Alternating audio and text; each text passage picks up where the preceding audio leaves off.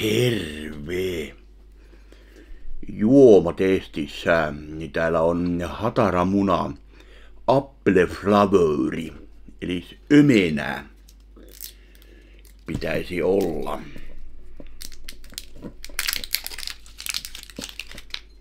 Otetaanpas tästä nyt tämä, millä aukastaan puteli. Noin.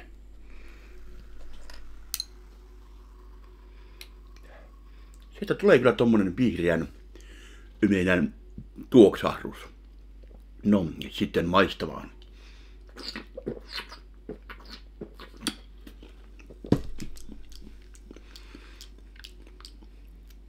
Mm.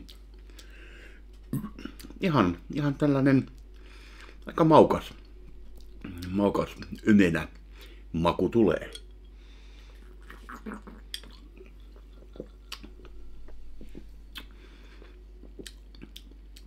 Joo, kyllä tästä hyvin, hyvin vihreän yminän erottaa. Aika, aika vahva maku. Joo, kyllä minä tulle arvosanaksi voisin 4 kautta 5 heittää. Ihan hyvä.